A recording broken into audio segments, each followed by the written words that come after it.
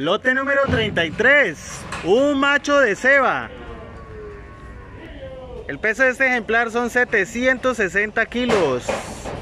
La procedencia es Sonson.